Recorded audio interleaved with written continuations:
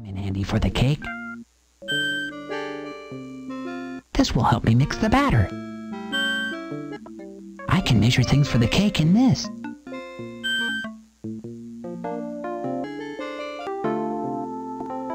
I do believe there are some things in my pocket I need for the cake. I should leave them on the counter. Nothing in there.